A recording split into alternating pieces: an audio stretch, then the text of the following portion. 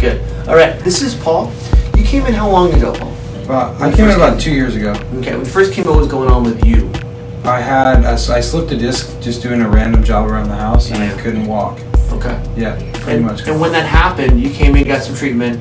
Things are going well. What have you done so far recently, in detail, to maintain that and keep your back strong, relax your posture well? Stretching, working out, and exercising. With stretching being probably the biggest benefactor.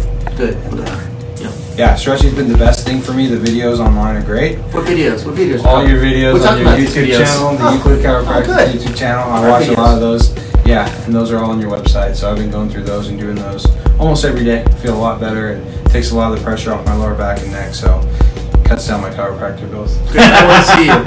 I don't want. I saw him enough. I want to see him again. Oh, now he's taking care of my wife. He's really helped her out too. What's going on with your wife? She's got some sciatic nerve pain. She's pregnant. She's got some sciatic nerve pain, and she's been doing way, way better. I can't explain how much better she's doing. And, and with her feeling better, has her mood attitude changed?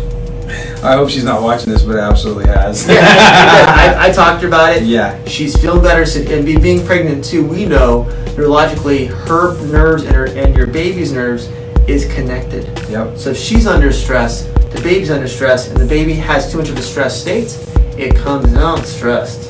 It's been it's been awesome having Yeah. her come here. I can't tell you how much. Yeah, The stress everybody. levels are lower in the house. I'll tell you that for sure. Good. And with that, is she back to going to the Y and working out again? Absolutely. Yep. She's Good. back on track. And is that helping her stay better?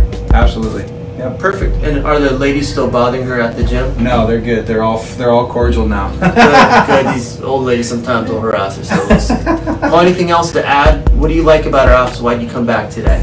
Um, you're accessible. Everybody's friendly, and um, best chiropractor I've been to in Inland Empire. I've been. All right, one and only. Yep. Thank you very much. Good. Thank great. you. Thanks a lot for shooting it. And we're good.